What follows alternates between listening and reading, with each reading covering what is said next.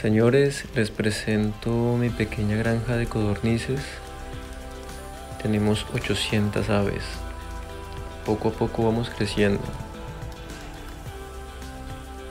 Ahí está a su disposición. Cualquier duda o pregunta, con mucho gusto resolveremos.